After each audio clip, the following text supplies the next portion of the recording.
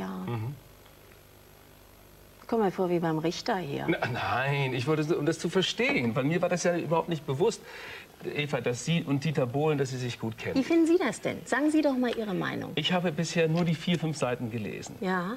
Die über Eva Herrmann. Ja. Ich habe geschmunzelt, muss ich sagen. Es ist zauberhaft geschrieben. Mhm. Und ich denke nur, wir sind Teil dieser Mediengesellschaft. Mhm. Und äh, es ist ja natürlich klar, wir spielen auch. Sind Sie gerne öffentlich? Das Eva? ist mein Beruf. Also ich, das gehört dazu.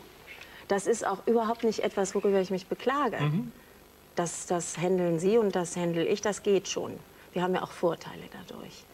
Aber das geht einfach zu weit. Egal, ob man mhm. Ich meine, auch nicht öffentliche Personen werden ja darin angegriffen. Leute, die noch nie, noch nie öffentlich aufgetreten sind. Und das geht dann schon gar nicht. Also mhm. die klagen ja dann auch. Aber das ist ein ganz gutes Beispiel, das auch mal für sich rauszukriegen. Also diese Balance zwischen Privatheit und Öffentlichkeit. Mhm. Wie, wie, wonach handeln Sie da? Was ist da Ihr Weg? Mein Weg ist, dass ich klar erkenne, dass das zu meinem Leben gehört, die Öffentlichkeit. Und mhm. mein, mein Weg ist auch, dass ich akzeptiere, dass es immer wieder zwischendurch Ärger gibt und immer wieder eine auf die Nuss gibt, öffentlich, in ja. der Zeitung, in, in, Sendungen. Das gehört dazu und das mhm. nehme ich auch in Kauf. Das ist völlig klar. Wo, wo, ist die Grenze? Wo schützen Sie Ihre Privatsphäre? Jetzt ist die Grenze erreicht. Das war die Grenze. Ja. ja. Mhm. Ja, das war jetzt überhalb der, oberhalb der Grenze.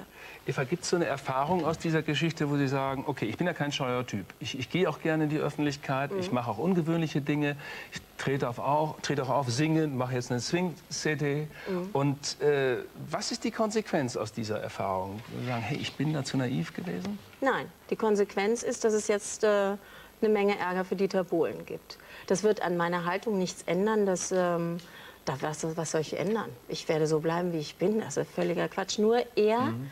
äh, er wird jetzt Ärger bekommen. Und das ist die Konsequenz aus dieser Geschichte. Ich glaube, er hat ihn schon. Mhm.